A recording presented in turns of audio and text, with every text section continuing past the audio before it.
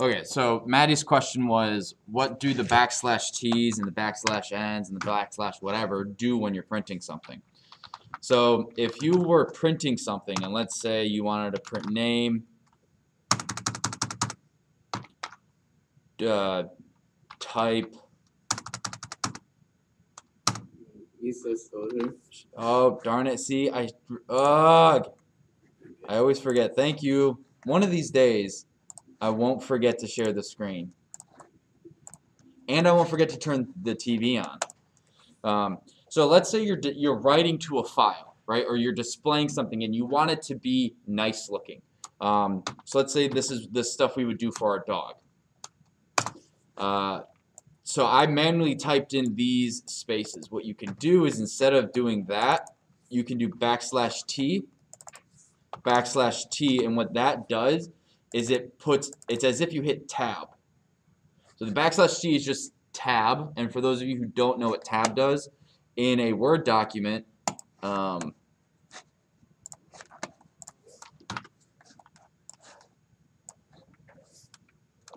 hello, my name is Zach. If you hit tab, it scoots it over, so now I can put something here. So that's all a tab does. And then if you want each thing to be on a new line, you do backslash n. Backslash n will print things on a new line. So using one print statement, you can have it take up three lines. Also, you can print, if you just print, and I think all of you know this, that just prints a blank line. So by default, print ends with a backslash n. And just to review, if we type in end equals, what do you want this to end with, Adam? End with a tab, backslash t. So even though there's no tab at the end of age here, we actually have one. We could do this to be funny. We could go smiley face, back, uh, backslash n, smiley face. So now it ends with two smiley faces.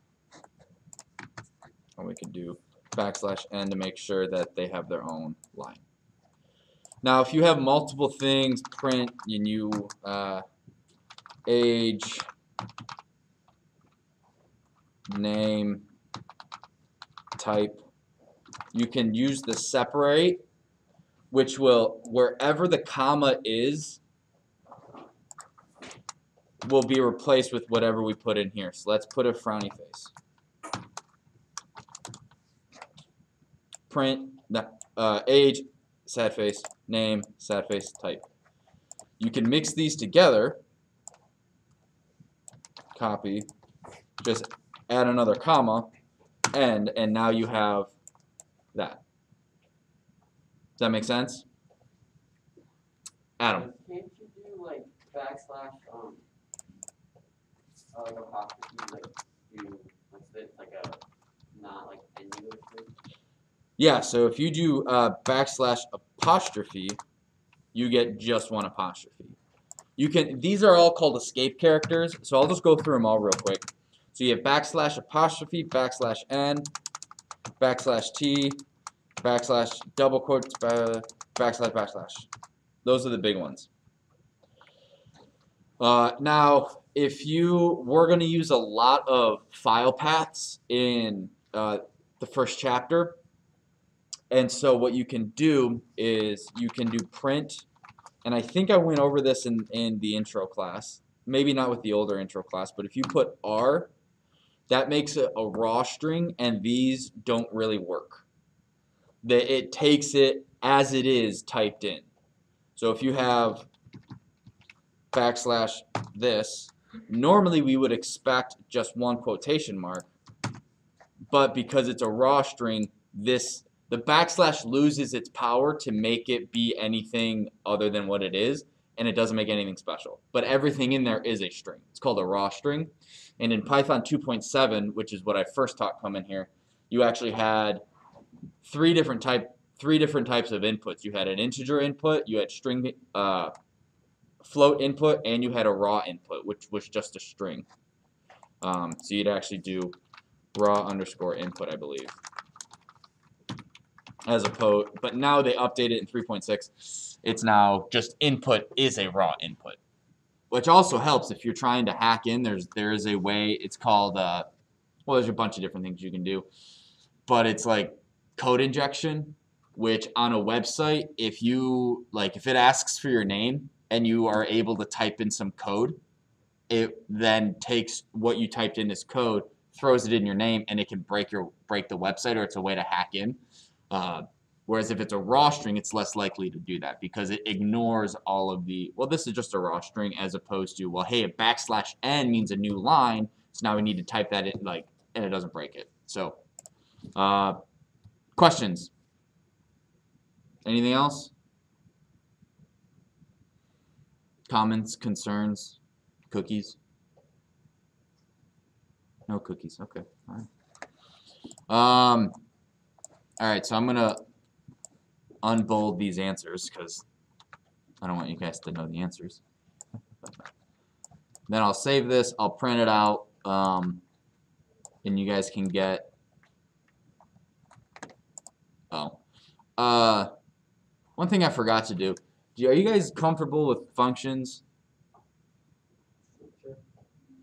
Like if I asked you to create a function, you guys think you could? Um,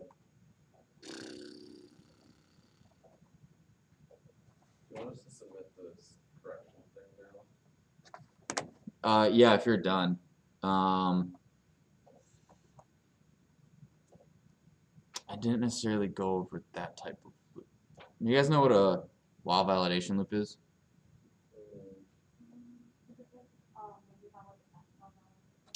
Yeah, so I didn't go over that with you guys. So let me go over that. Hmm, I wonder if that's on the quiz. Okay, so I'll just I'll do two things. So a while validation loop, if I want to make sure someone types in a number that's between two object, two numbers, well how would I do that? What's the condition that I want met? If I wanted a number between 0 and 10.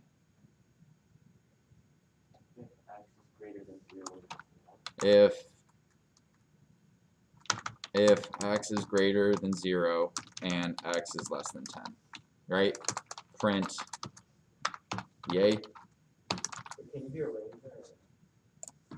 right so what would and then if we made x uh 5 what should happen yay you gotta have that inflect yay what Can you use ranges in statement? uh I believe so yeah I think I tried that in my. I don't know if it worked. It's like get back to range. Um, yeah, you guys. So this is.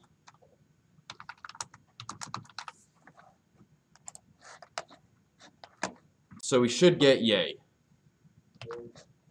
Now, if I want to make sure that the user has typed that in, so let's do x is int input, enter a number between 0 and 10. Okay? And now what I want it to do is I want to keep asking the user to enter a number between 0 and 10 if they don't type in a number that's between 0 and 10. Does that make sense? That's like me going, David, enter a number between, tell me a number between 1 and 10, and you give me 15 right? What would I then do? I would go, no, no, no. Give me a number between 1 and 10.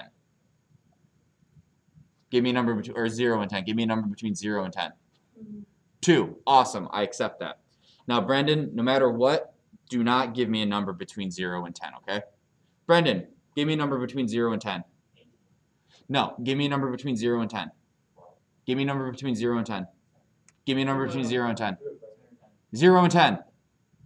Give me a number between 0 and 10. Give me a number between 0 and 10. Do you guys see what what I'm doing? Can you guys take what I'm saying and, and the process and make that into code. That's a while validation loop. Like else, um. You don't need else. Put it under while, under a while loop. You don't need that. What would the first thing be? Oh.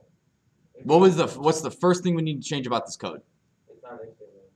Right. It needs to be a while loop. So now I need a number between 0 and 10. Do I want to. Is that what this code does right now? No, it's just looking for the opposite. You say, well, well. Or well, or you say not, not. Well, this isn't what I want. Oops. Right? I don't want it to never endingly type yay. So, what'd you say? Can you- can you- Wait, however you told us to say like not, I can do all not. But is there a way to say not equal, not, uh, greater than, Well, what's the opposite of greater than? less than? There you go. So while it's less than 0 and x is what? Greater than. Greater than 10. no, you say or. 'Cause it- it's not getting there, it's just not over there. Well, because there's no number that is both less than 0 and greater than 10. Because anything less than 0 is negative, and anything greater than 10 is positive. Anything less than 0 is negative, anything greater than 10 is positive, yeah. So, now this is correct, That way, that won't work. right? So now when I run it, They put the, the input inside the loop. It Also only has to be one. okay, but I entered a number between f- 0 and 10. What should should we tell the user good job or you did it?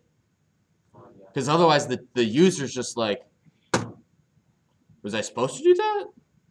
Right, so it, that means we'll put something here that says, good job. All right, well, we got, we have the good case. So when they do what we want, it works. Now we got to test, well, if they don't give us what we want, oh gosh. Now it's broken. Now it's broken. So now we got to go back and fix it. So let's let someone. I think Stockton. I believe you're right, but let's see. Does someone else know what I ha- what we have to do next? What's the one thing we have to do with loops? Maddie, we have to ask them the input. We have to change this variable in some way. Because otherwise, it's like, do you want cookies? Yes. Or if you say no, I'm still going to give you cookies because I'm stuck in a loop because you said yes the first time, you then are always saying yes to me. So I don't want that. So what we would do, the easiest thing is to copy and paste. And now when we run it, 100, 100, 100, 100, 100.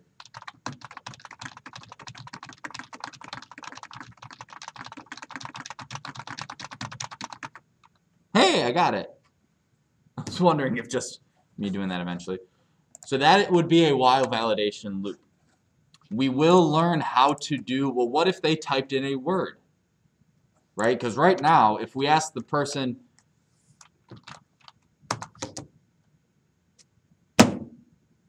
right, that's when we would use try and except, uh, is when we would actually say, no, no, no, don't let this error break the code. We're going to code, a, we're going to code over this gap and not try to code around it. Um, does that make sense? Do you guys have questions on that? Yes. Oh, and Stockton. Would you move it to like, if, like make a bunch of if statements that convert straight to, to like, That's coding around the problem. but I, I thought you, is there like a way to make it that like if you get an error, I can do this or? That's a try and except. So we're going to try this section of code. If we get an error, do this instead. So I'm going to try cooking something, but on the exception that I burn something, I'm going to order pizza. But if I'm able to bake something, I'm going to eat that. I'm not going to order the pizza. Make sense? That's kind of what a try and except is. I'm going to try this new thing. If it doesn't work, I'm going to do this instead. Questions? Is it like a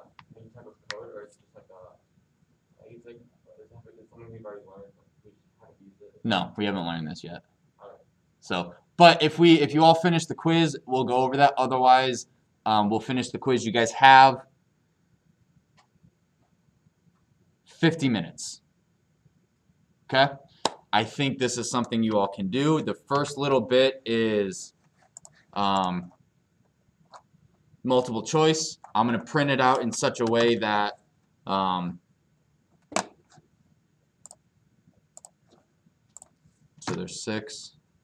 I'm going to print it so that you guys take the multiple choice, then you do it, and then um, you then you will then get the, the the coding part because the multiple choice you type the code in, check it, and give me the right answer.